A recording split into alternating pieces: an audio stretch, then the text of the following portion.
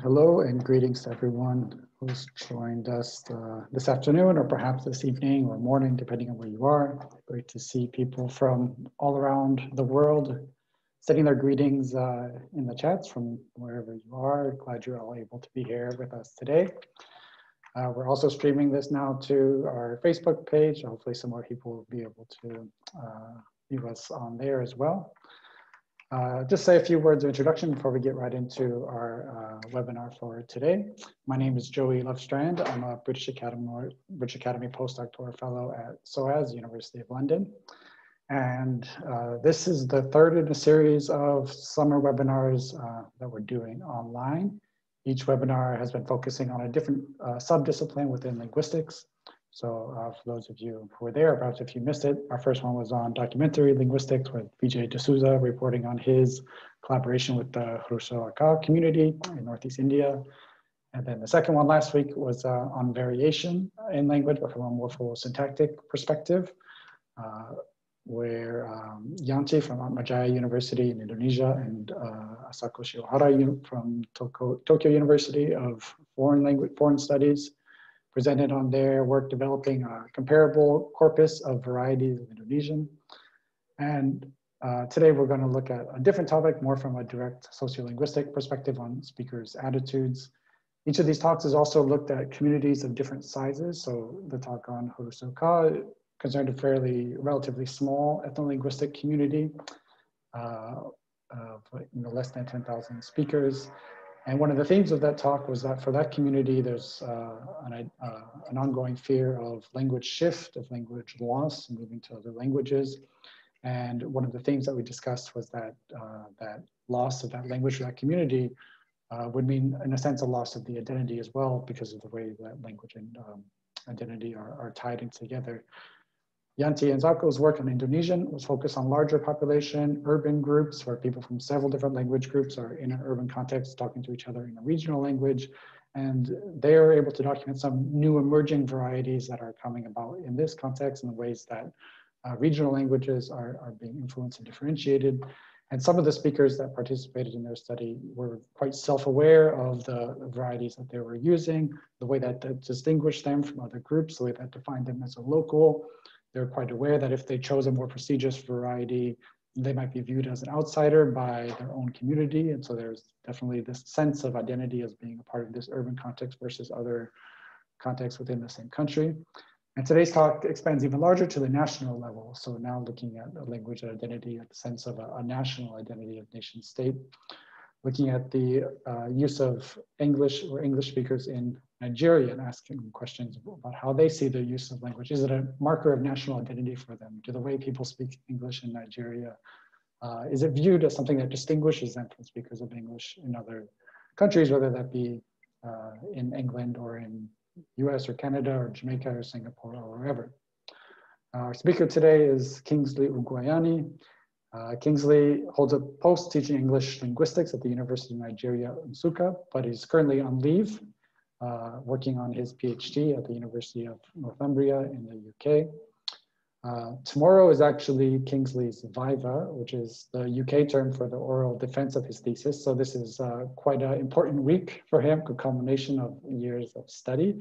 We're thankful that you're taking the time out to do this with us as well. And we hope that uh, this hour together uh, is not a taxing burden, but hopefully it's an encouraging and engaging, maybe a bit of a practice uh, hopefully there will be some perceptive and insightful questions that will uh, prepare you for tomorrow's more, I'm sure, rigorous questioning of the ideas you've been working on for the last few years.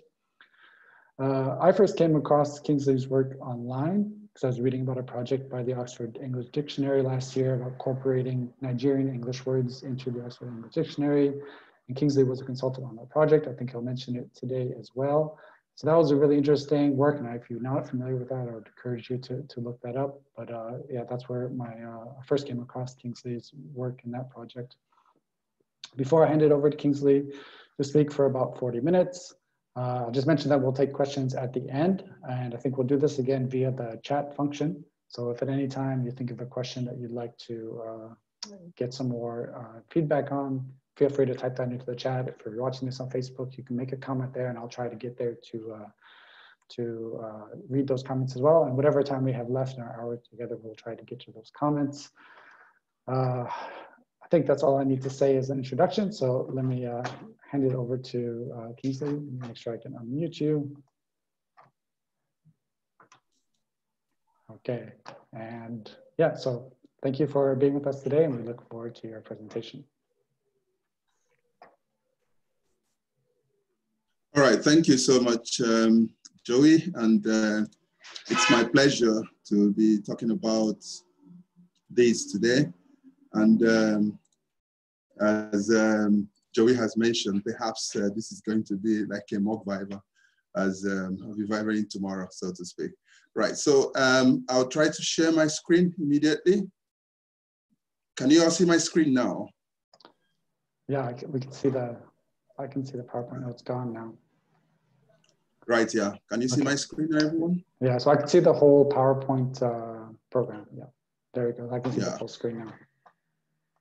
Right, yes. Let me uh, begin by thanking you, Joey, for the opportunity to do this and then to the linguistics um, webinar series um, team at SOAS. And to also thank every one of you who have um, joined this from um, all across the world. And, and um, as you already know, today I'll be talking about Nigerian English and national identity.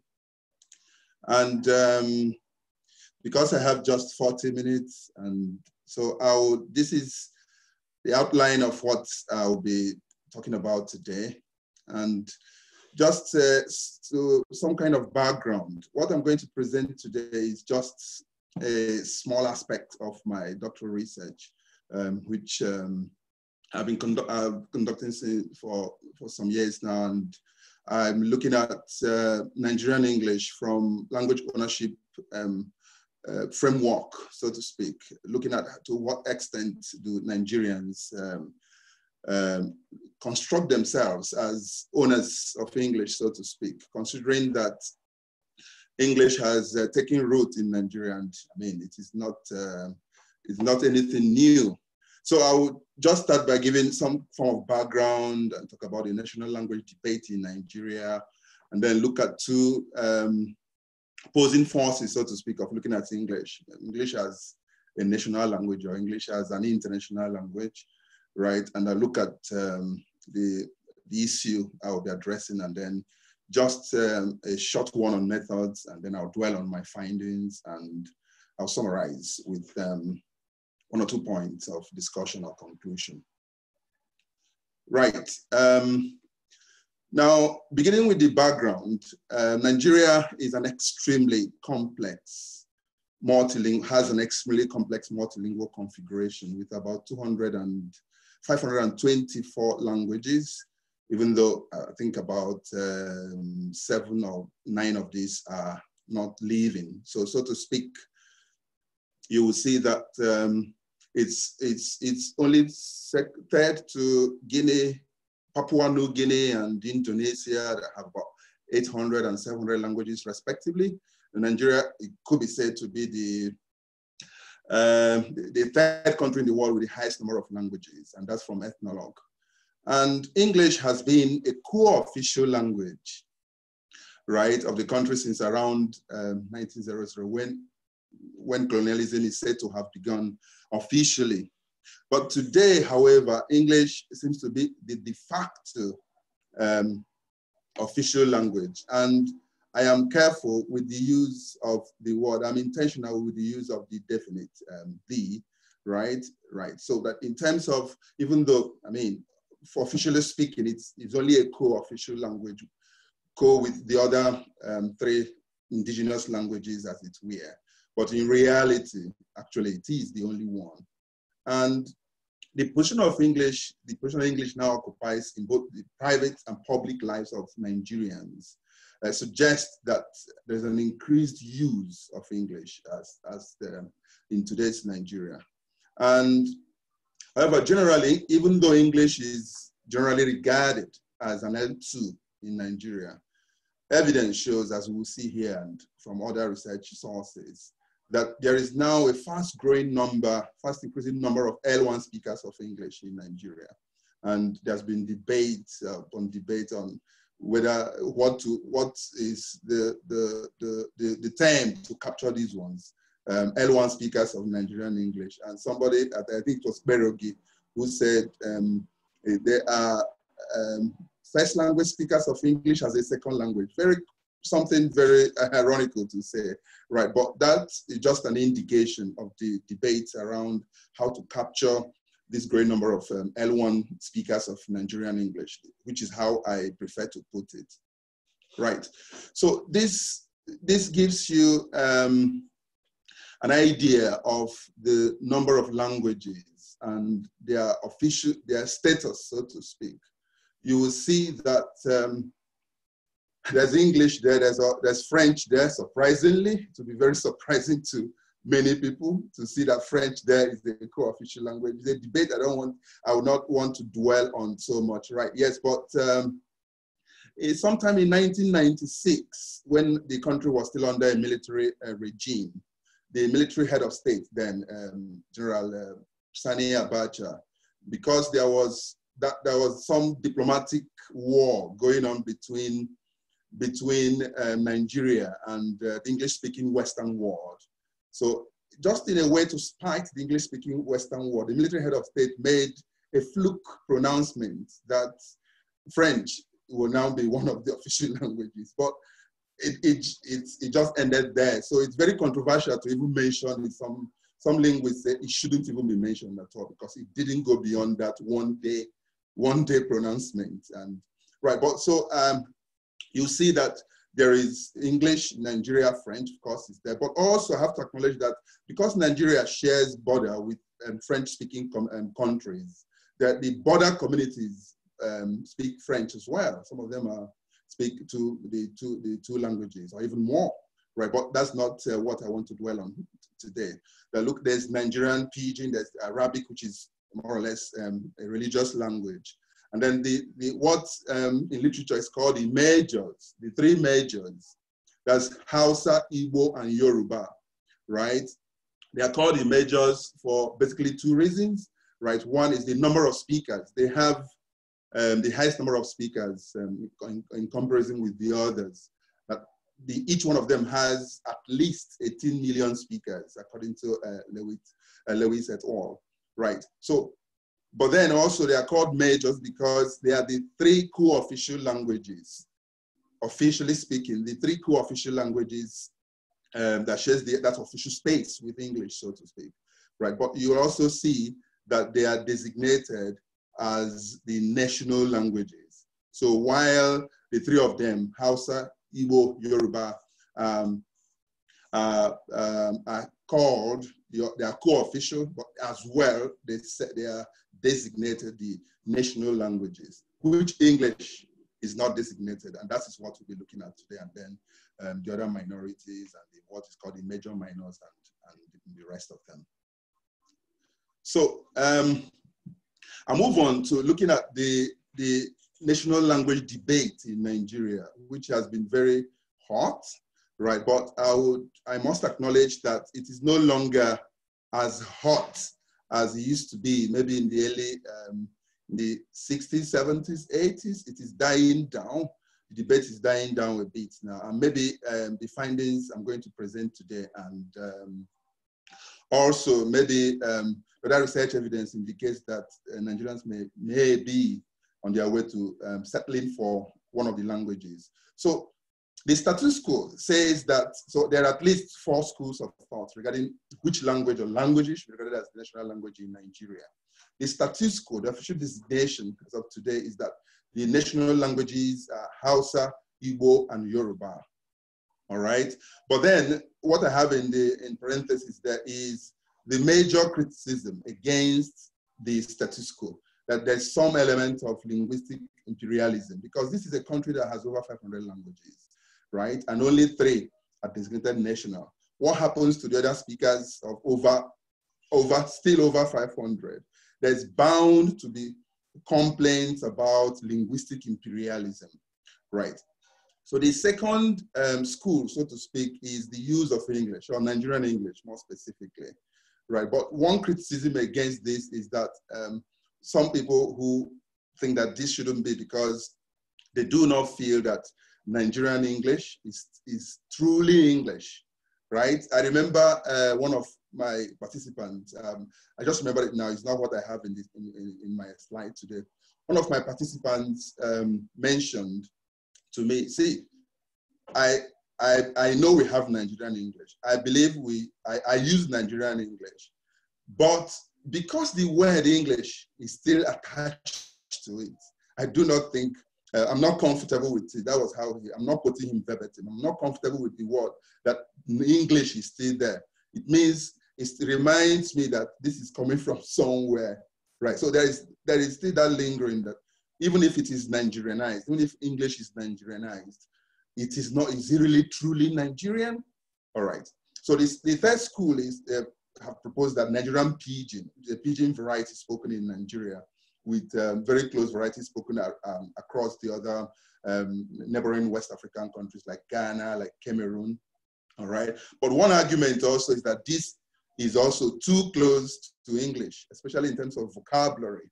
Terms of its vocabulary is also too close to English. So that's one debate. And then another debate, um, another criticism against it is that it may not really um, be um, uh, be written in terms of written form, even though I mean, evidence, research evidence shows that this is not um, this is not a valid argument. But that's one of the things that people say. Right. Again, there have been other debates about using other indigenous languages apart from the first three. The argument being that if you choose a minor, a minority language, so to speak, and I do not use that word minority um, with the sense of a value judgment, so to speak. I do not right? But minority in terms of number of speakers. And so people are using other minority languages because their speakers are so small and they are not as powerful as the other. They will not, their, those languages will not seem to be domineering other ones, all right? And a lot of proposals have been made, Igala and all that have been proposed. But then one key argument about this is that if you use a, a language just spoken by maybe um, um, a few hundred um, speakers, the language may not be widespread, may not be developed, and this, so there's an ongoing debate about which one it should be. And right, so um, so English, it seems, is English now the preferred language, language so to speak. So um, Afolayan has for a long time said that it is unrealistic for anybody in Nigeria today to think that national unity can be forged in this country without recourse to the utilization of the English language. The fact, the fact that it is now functioning as the language of Nigerian missionism cannot be denied. Right. So the much of this debate, however, um, has remained as public opinion, public opinion, even though there has been some academic engagement with it. So there are no studies available at the moment indicating the degree to which Nigerians in the 21st century may continue to associate English with, the, with British imperialism, especially as a variety of English distinctively Nigerian has emerged. Um, in other words, it has yet to be empirically investigated what attitudes Nigerians would have towards English in terms of accepting it as a language of their cultural national identity so in, in my study, um, I wanted to investigate, I mean, this aspect of the study, as I've mentioned, this is a part of a broader, a bigger, a larger study I, am doing on Nigerian English. Right, so I wanted to investigate the extent to which Nigerians will regard Nigerian English as expressive of a true Nigerian identity. And as um, some scholars like Unebu mentioned, um, is that English has become a necessary evil, so to speak. So even though uh, one argument, uh, as I've mentioned, is that as an ex-colonial language, English carries with it a symbolic value that is directly opposed to nationalist ideal, so to speak. So as I've just mentioned, that one of my participants uh, pointed out. So this creates some kind of tension between two schools. Those who think that no matter what English cannot carry the cultural identity of Nigerians, and those who believe that it can, since English can be nativized. Right, so um, moving on. So why does the national language question seem so hotly debated in Nigeria. And I, I mean, also maybe also elsewhere. One reason I found is that there's a lot of ethnic politics in Nigeria. And Nigeria, apart from the numerous languages, there are also over 250 ethnic groups. And, um, and this is a country that is uh, divided along the lines of ethno-linguistic and um, religious identities. So these things matter a lot. So seeing, for instance, that seeing, for instance, that um, Nigeria as it is, it can be argued a little polarized ethno-linguistically. Does it still make sense in any way to talk about Nigerian identity, even when some people would um, think of themselves primarily as Igbo or Hausa or Yoruba? So whether there is some kind of affiliation towards Nigeria, right? So when I talk about nation here, uh, I do not I intend to use it in a very strict um, sense, in a very traditional sense, in which nation refers to a group of people with um, shared um, ancestry, shared history, and even shared um, language. No, I use it in the sense of a nation state, nation state identity, of course. Having brought these groups of people, uh, these ethnic groups together under one, um, one national identity called Nigeria. Is it, possible to talk about national identity in that regard? So that when I mention, when I talk about national identity, I use it in that um, more liberal sense of nation state rather than the traditional way of understanding nation, which um, would, would see many nations, maybe over 200 nations in Nigeria. Right, so, so nations may be viewed as imagined arbitrary, um, but through texts, through myths, through narratives and attitudes, a sense of national um, identity is sustained. And this idea of imagined or arbitrary is even more, more uh, important in a multilingual, multicultural um, society like Nigeria, where there may be that kind of tendency for people to affiliate towards the more local, more regional, more ethnic identities rather than the national identities.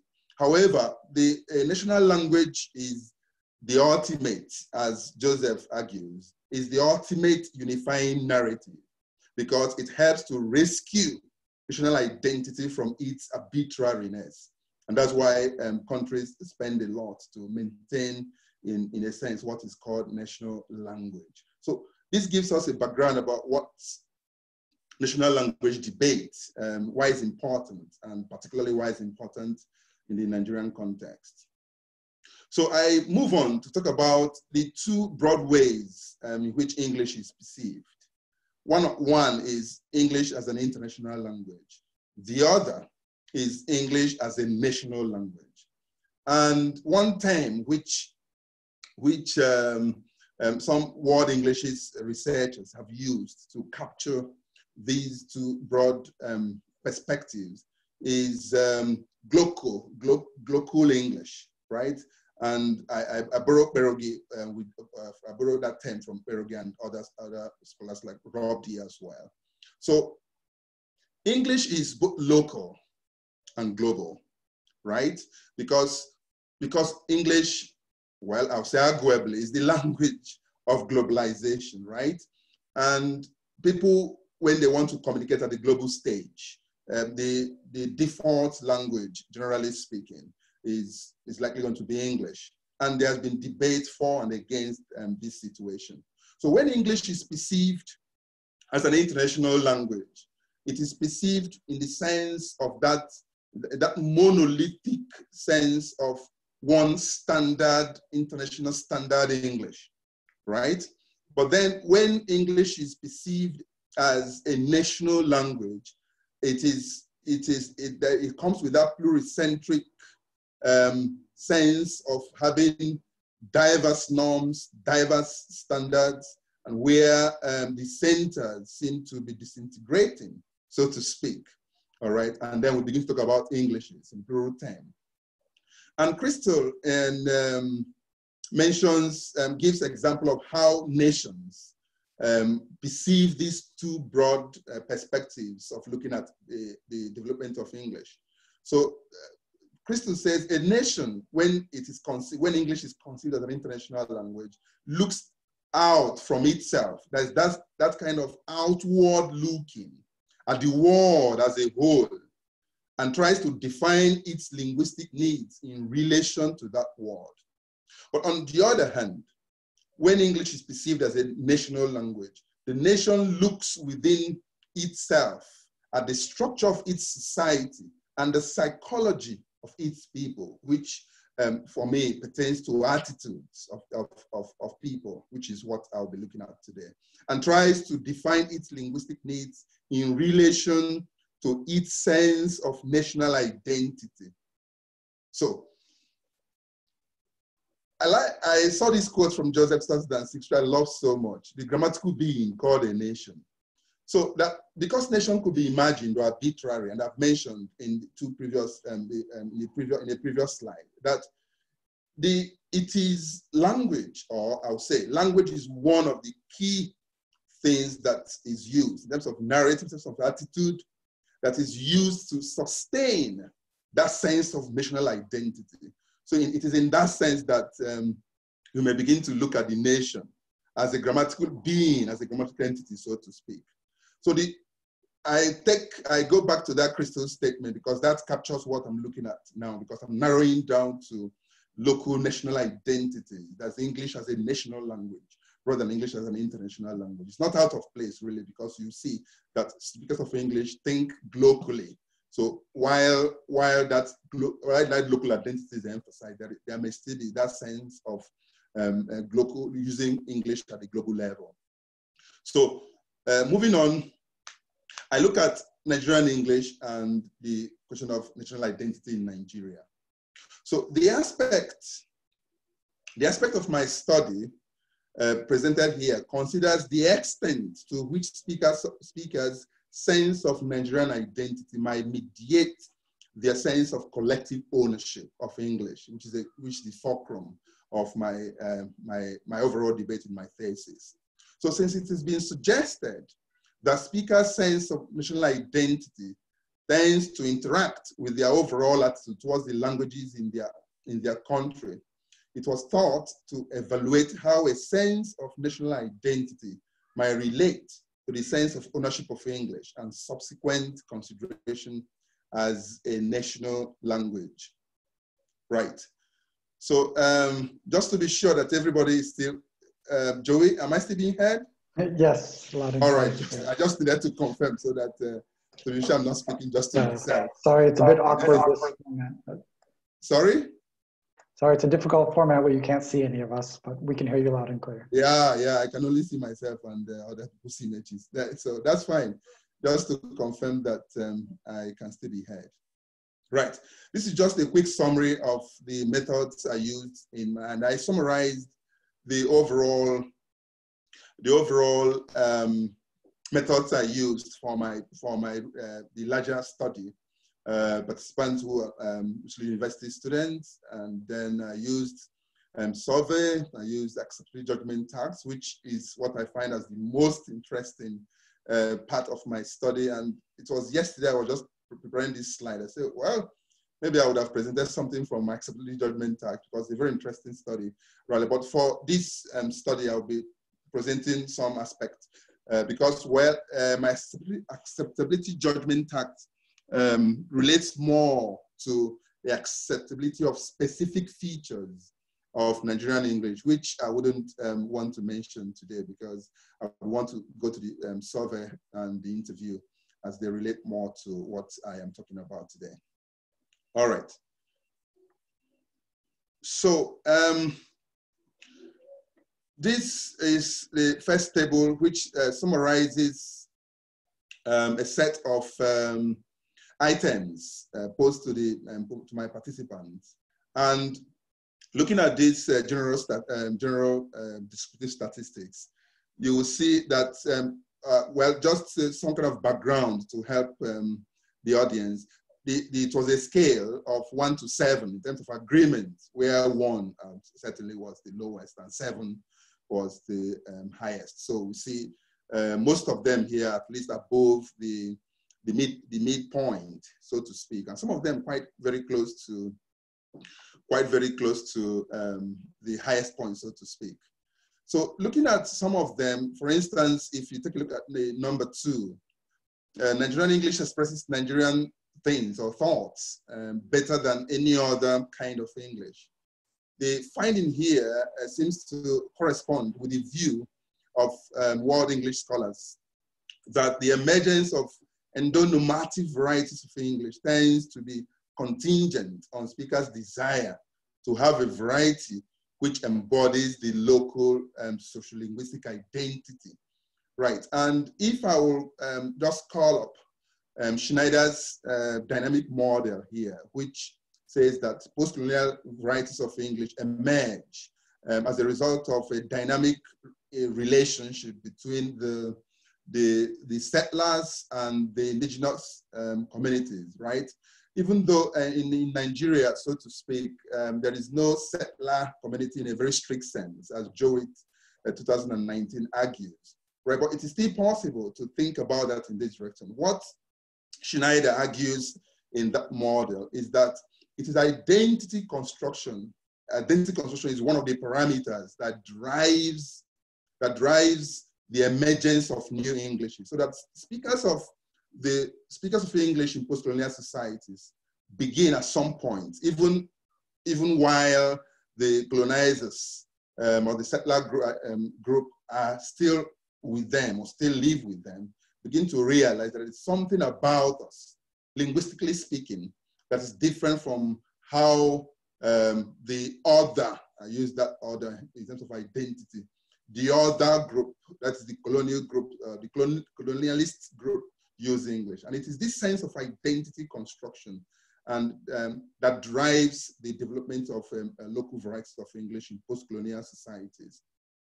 So if you look at number three, for instance, you consider you considering the uh, affiliation in, in time in, in light of this unique role, it becomes even clearer why there is a considerable high identification with Nigerian English.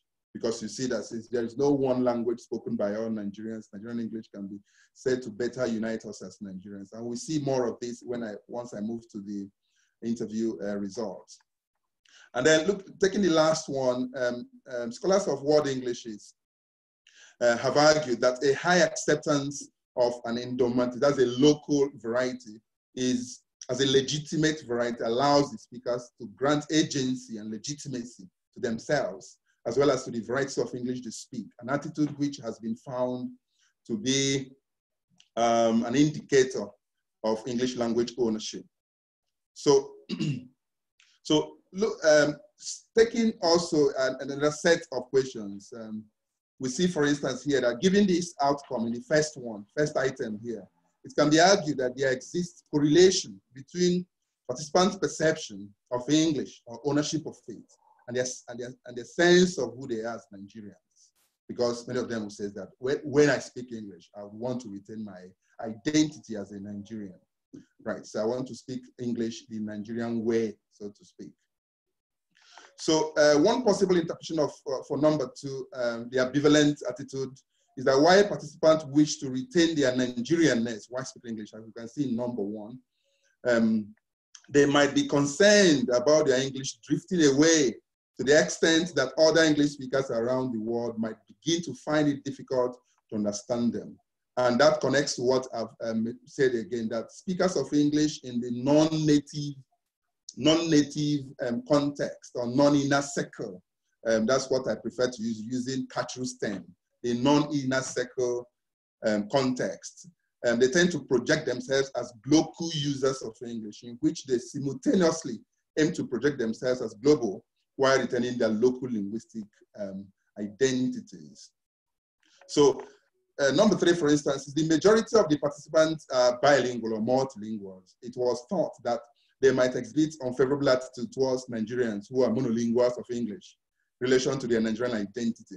But contrary to this assumption, the main score indicated that overall, they seem to favorably perceive this class of speakers of English in Nigeria. Even though the mean score does not indicate a clear majority, suggests that the participants tended to view monolingual users of English as no less Nigerians. In fact, one of the interviewers stated that to be truly Nigerian, one should be able to speak English, since it is the only language which unites Nigerians ethno-linguistic groups. And the last item here is that we investigated whether participants considered the effect of their speaking to other Nigerians in English on their uh, Nigerian identity. And of course, we can see this indicates that more than half of them did not consider that speaking English makes anyone less Nigerian. Right.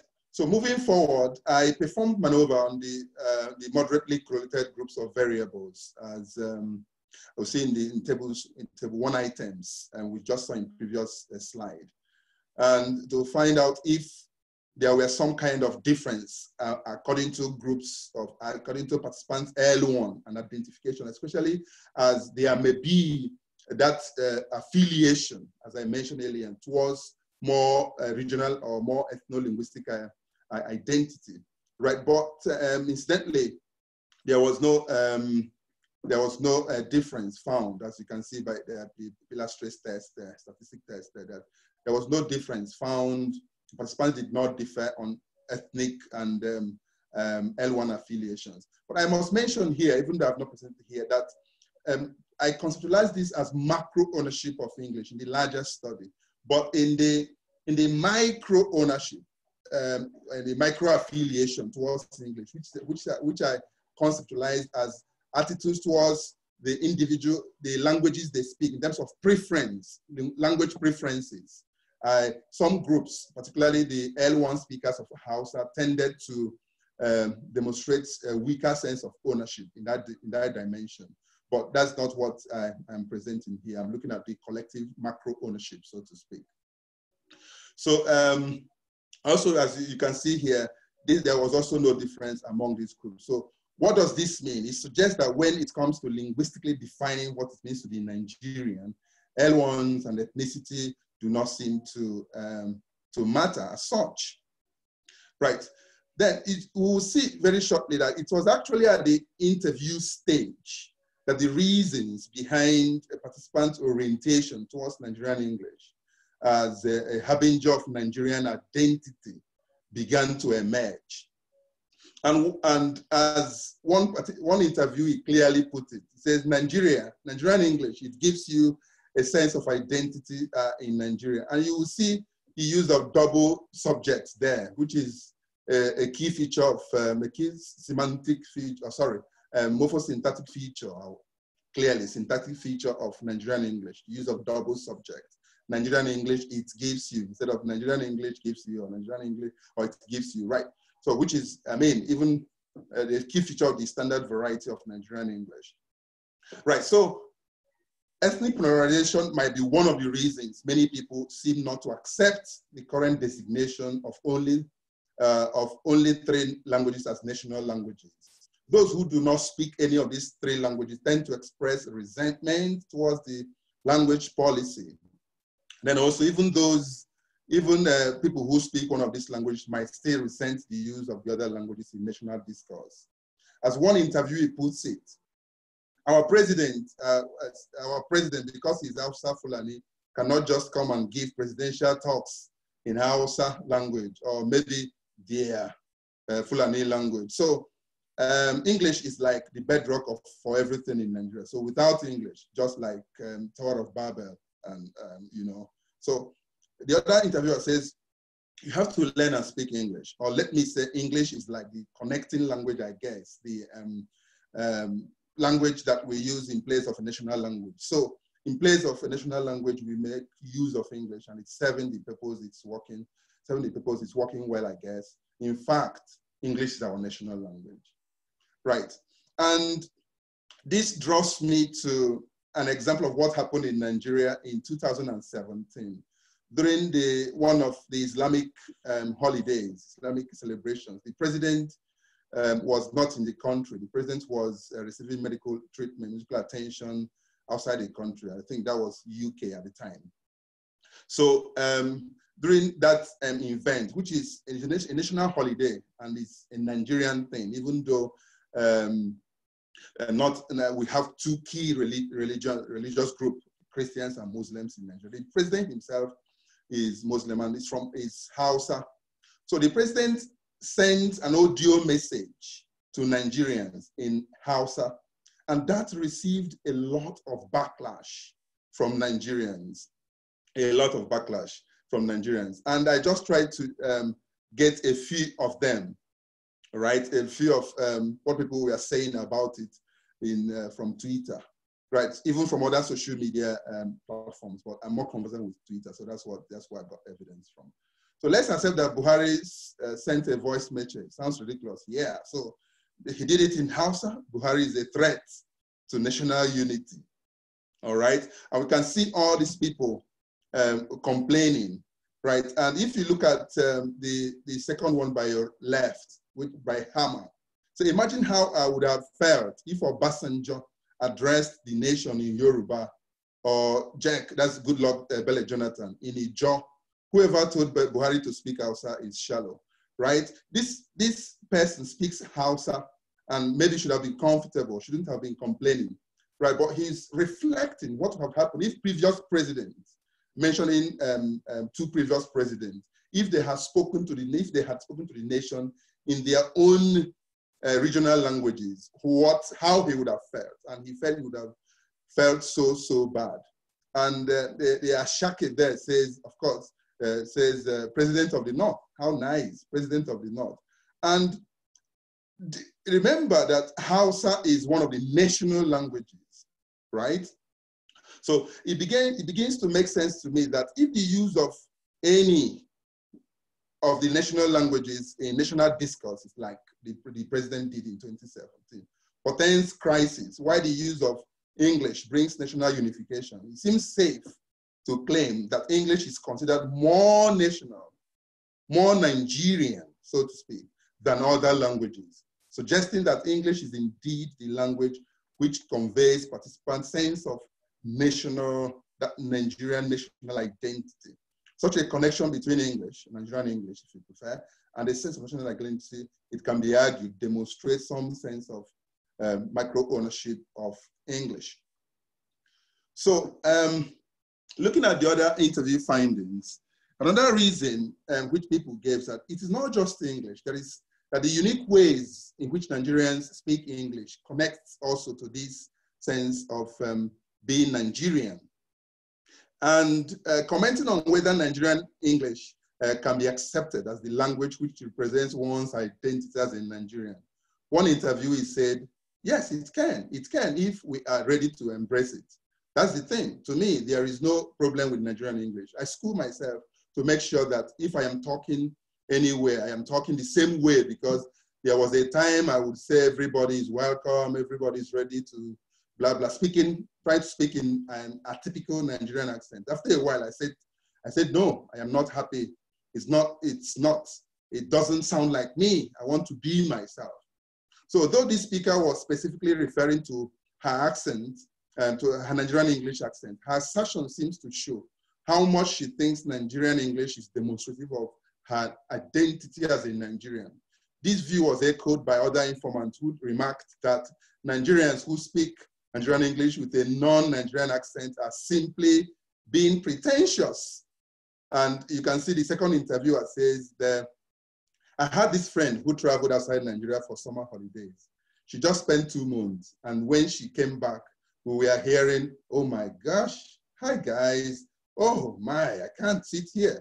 And I couldn't uh, get this voice to play for us, but the, the, the interviewee was changing her accent to reflect this atypical Nigerian accent. So everybody was like, why, why is this one forming? And forming is an interesting Nigerian English word, which means to pretend, to pretend. And as we can see in uh, the, these tweets um, from Nigerians, there's also an example of someone uh, using the word form. And the, I'll give a background to these tweets. In 2007 edition of BBN Naija, which is Big Brother Naija, and instantly the program is on, on now for the 2020 edition. It's a very popular reality competition, uh, competition TV series in Nigeria. One of the housemates, yes, the participants in that um, reality TV show or competition called housemates. one of the housemates called, this was this 2017 edition, called Gifty, received a lot of crit, um, criticism from Nigerians for her, what most Nigerians called her fake accent. That was the, the hashtag fake accent was trended at the, at the time because her, they that her, her accent was on Nigerian. In fact, in a later interview, Gifty herself acknowledged that her accent may have contributed to why she was evicted because she was evicted quite early there. And you can see these are what people were saying. Um, um, Gifty and her fake accent and nonsense English should go home on Sunday, right? That should be evicted on Sunday, right? So um, nonsense English here seems to me to suggest any English um, that is said in an atypical Nigerian way or Nigerian accent um, is, is, is, not, is not us. So the participants um, or the viewers to this program or Nigerians who are following this program on, on social media were saying, this one is not really us. It doesn't, it's not really sounding like us, so to speak. So Gifty should try and ditch the locally acquired foreign accent. And if you look at locally acquired foreign accent, the abbreviation there is LAFA. LAFA became very popular. That's locally acquired foreign accent. It was, that, is, that became one, um, one word people used to associate this kind of accent with. That this is not us, it's not working at all. And a very popular uh, movie star, um, Funke uh, Kindele, who is um, popularly known as Jenifa, referred, said actress indeed, with her funny accent. Let her get a brighter grammar and learn how to pronounce words properly without adding r or r to every word. And this calls to mind immediately that in terms of rhoticity, Nigerian English is, uh, so Gifty was trying to speak with American English, which is, which is rhotic. And uh, as we know, American English is rhotic. But Nigerian English is not rhotic. So many Nigerians say that this, um, this is not really us. And that, that was, that's the evidence that was um, emerging. Right. So, and um, also in um, two events also, um, which further lends credence to the overall positive attitudes that Nigerians have towards Nigerian English. One of the events is that in 2019, Google launched, um, launched a Nigerian English accent. So in terms of voice selection, you can have Australian, Indian, Nigerian English, and that and that. And that also received um, a lot of attention on social media and even the traditional media. And it was, the attention was that of acceptance, so to speak.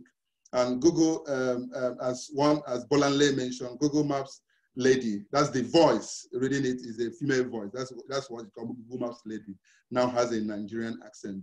And there are many, many uh, tweets around this. I couldn't mind all of them. And also, um, uh, because I, am going to go off this slide to show you the video, what people are, what we are talking about, what people were saying about these two events. So I want to talk about the two of them before I show you the video. Another event was in early, early 2020, early this year, particularly January, February, right? OED, some Nigerian English words uh, made it to the OED. Oxford Dictionary added um, some Nigerian English word. And as Joey said in, during the introduction, I was part of this project as the, the uh, OED's consultant on, on the project. And I learned a lot. And then when this um, thing was launched, that is in January when these about 29 Nigerian English words were added. Now, a lot of uh, Nigerians started talking, a lot of things were said. And for instance, UK Nigeria say, great news. Oxford English Dictionary OD has added new words from Nigerian English to its dictionary Nigerians have made a distinctive contribution to English as a global language. Mado, Mado is a Nigerian English expression, which people just use as um, expression, though it's not one of the words that made it. And but a very interesting, striking point uh, made there is all those English teachers saying there is nothing like next tomorrow. Next tomorrow means the day after tomorrow. That's one of the words added there. How a day, that's pidgin really. That is what do you now say? You, you, are, you have not been shushed or something that OED adding this has now made you uh, to shut um, up, so to speak. So I'm going to show, uh, uh, quickly share uh, video about what Nigerians were saying about these two projects. And um, uh, Joey, can everybody see my video? Yeah, I can see the video. And let me mention we have about 10 minutes uh, left if we're getting to your... Right, yes, I'm aware.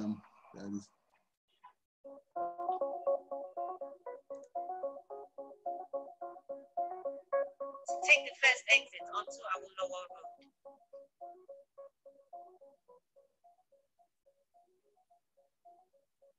Continue on Alfred Rewane Road for one and a half kilometers. The Nigeria accents on that Google map is much more better than the white accents. When I heard it, I was very happy and the voice is clear. For the white accents, if you're not that learned, you won't be able to hear what the lady is saying. The other one, the Igbo voice, that one we call Adeshawa something. You won't hear it clearly. But now the Nigerian voice are so wonderful.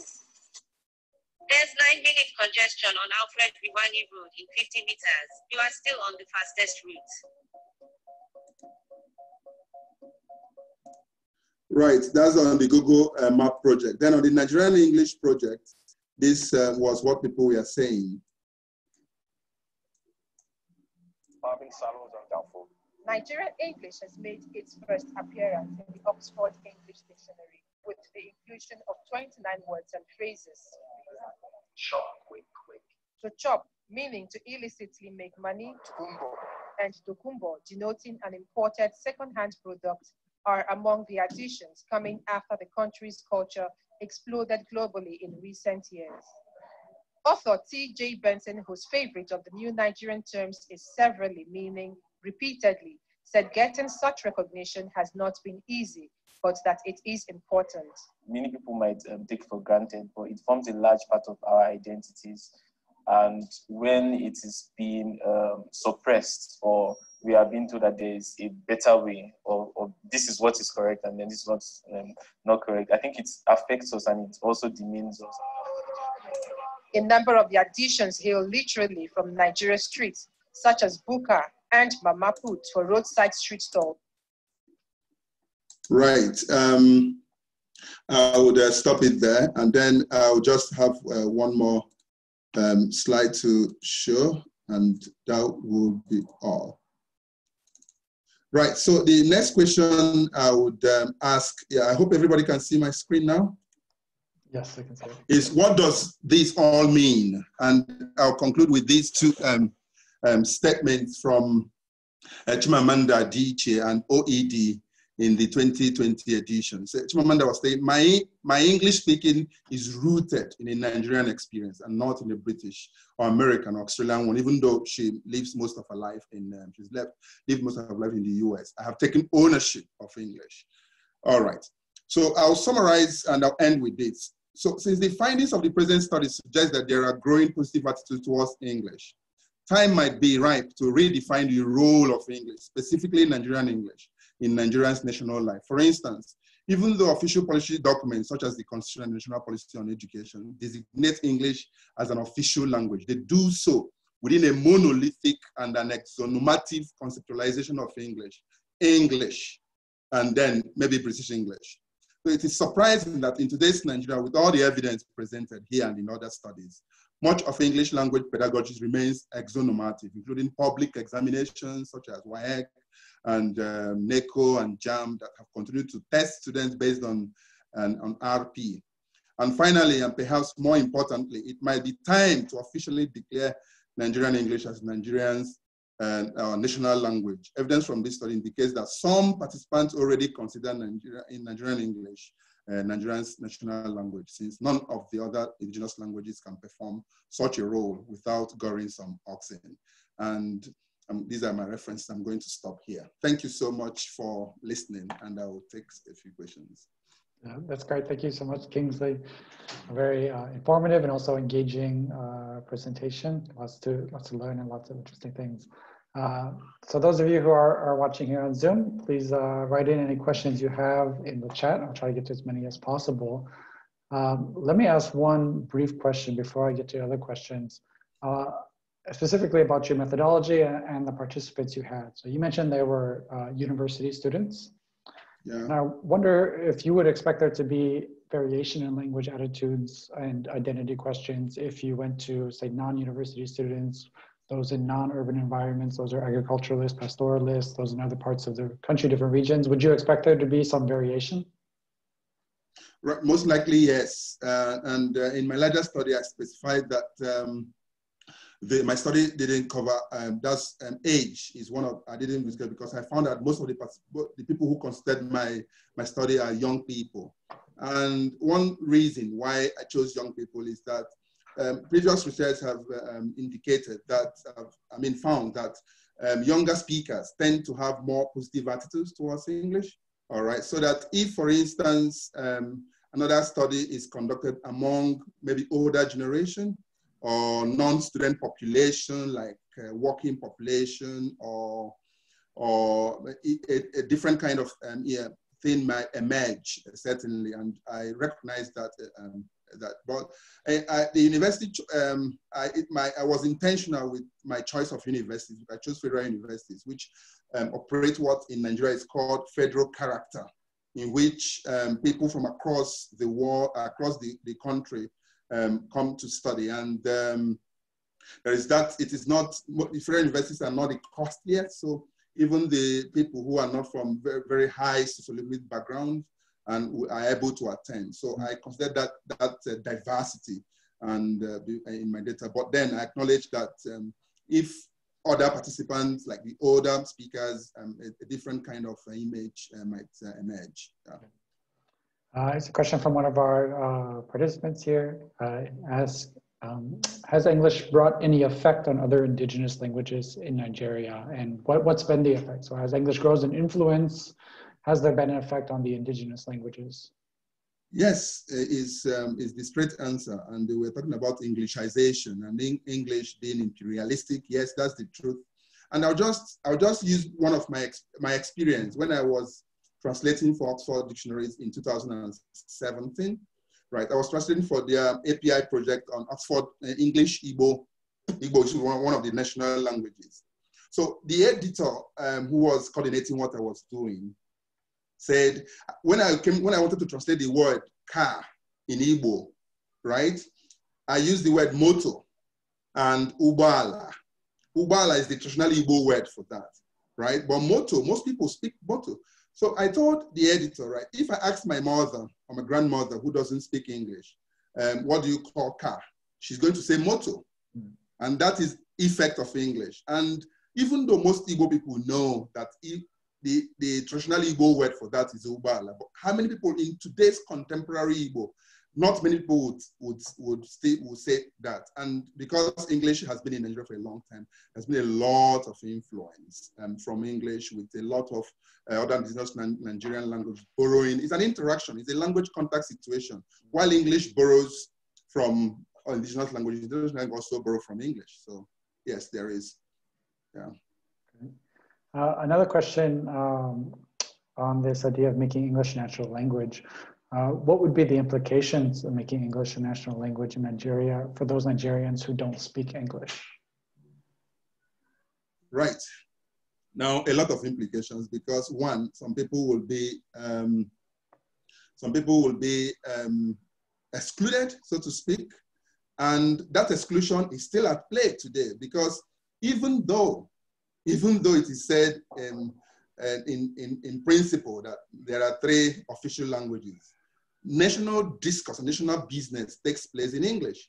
Because, for instance, the constitution says that the business of government and maybe the National Assembly can be conducted in any of the other um, national languages when appropriate arrangements have been made. But that is hardly the case. Uh, there's no instance of where um, any of the national discourse, and I just mentioned evidence of how um, uh, the president spoke in Hausa and the, the backlash that it received. So people are already excluded. But one, one way to do this is when we, we use a variety of Nigeria, because a variety of English that has been Nigerianized, um, it might help. But then um, it, it, it, becomes closer and closer and closer to the people. This is a, this is a country with over, over 500 languages.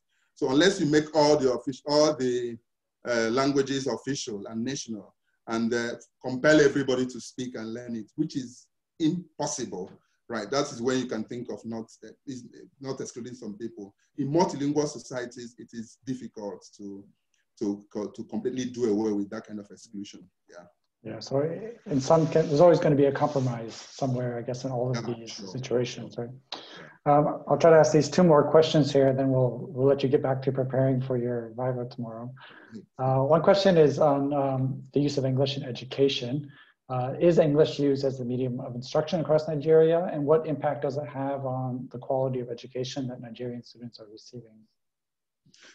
All right, yeah, um, the policy officially says that um, school children at the lower level of primary education, uh, primary education will be taught in English, sorry, in an indigenous language. While when they move on, they will be uh, taught in English. But this also, like the official language uh, situation, is also a policy in principle, when in reality, children begin to speak and um, to be taught in English as early as primary school. Right, and I and even nursery. I remember an experience I had with um, while I was in Nigeria. I took my my my daughter to primary school, university staff school, and of, for me, our home language is Igbo, so we speak Igbo. And the first time, so they asked me, "What do you want to mention about your child? Is there anything we need to know about your child?" And I mentioned she speaks only Igbo, and then uh, a week later, the teacher complained, no, I, I, I, struggle to speak Igbo to your child and um, um, can, can people start speaking English to her? Well, I said, well, for me, I don't have any struggle speaking English to her at home. And I know she'll speak English at some point, right? But the policy says Igbo. So if you want to teach English, you are going against what the policy says. And so it is your, it is your headache to handle. That was how I put it to the teacher. And said, you are the only one who is saying this. I said, well, um, that is, um, that's what it is. And just to say, just that experience, just to emphasize that in reality, it is actually English. And the effect is that one, yes, you have said the effect is that the, the low indigenous languages are going to really suffer. Yes, but also if you're if you're talking about Nigerian English as the language of expression, in Nigerian English is not um, British. Nigerian English is not American. Nigerian English is, is Nigerian. And um, today we talk about Nigerian pidgin being Nigerian. And every language has a history, as, as, as so maybe a time will come when Nigerian English, uh, maybe as one of my participants mentioned, maybe uh, one day the, the word English might not be there again. All right, but even though American English, the word English is there, Canadian English is there, and people still identify as, in terms of national identity, these national varieties of English define them. So I think once it becomes obviously unique and maybe more recognized by, by the, uh, the government um, things will begin to change. You just mentioned uh, uh, Nigerian pidgin, and the last question. There's two people who want to ask you to push a little bit deeper into uh, this potential contrast or tension between Nigerian English and Nigerian uh, pidgin as a more national creole. So, one question is, uh, what would the attitudes of Nigerians be towards Nigerian English when placed side by side with Nigerian pidgin English? So, if you actually contrast them and say, not just is Nigerian English Nigerian, but if you say which is more Nigerian, Nigerian English or Pidgin.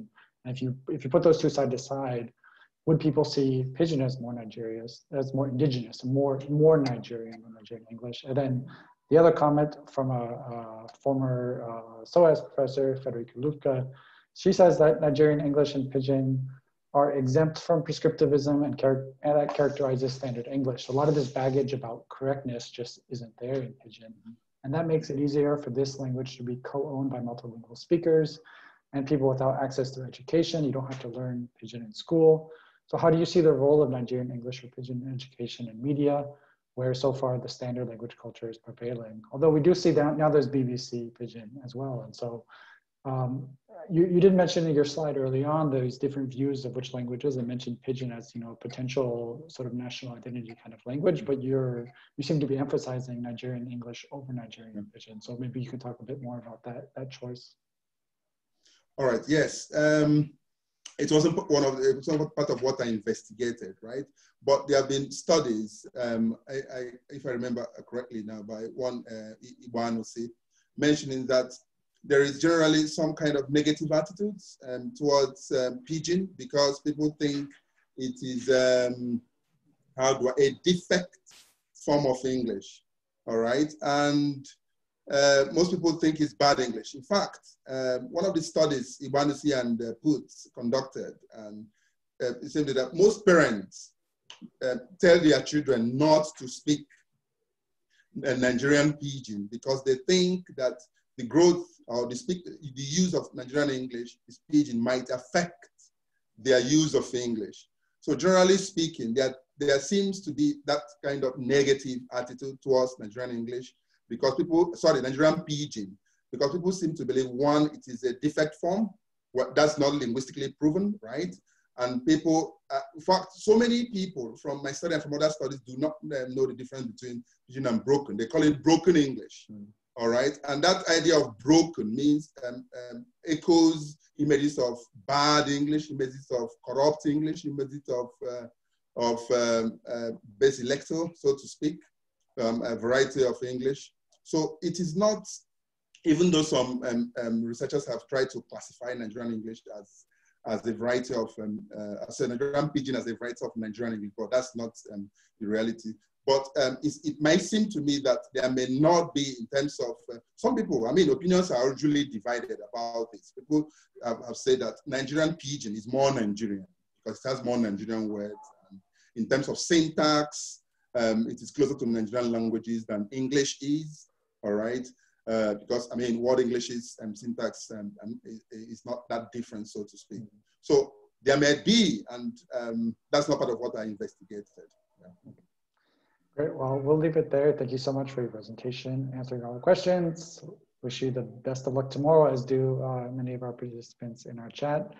Uh, yeah, so thanks again for joining us. Thanks to everyone who took the time to uh, listen in and be a part and ask your questions as well. Hope this has been uh, encouraging for everyone to continue to explore these complex issues and attitudes and their implications, not just for Nigerians, but for many other multilingual countries around the world as well. Thank you so much, Kingsley yeah, I must say thank you, everyone, all of you. I just, I just um, stop the screen share now to see all the good wishes for tomorrow. Thank you, all of you. Thank you. Thank you so much. Yeah. Great. Okay, goodbye, everyone. Thank you for joining. All right. Thank you.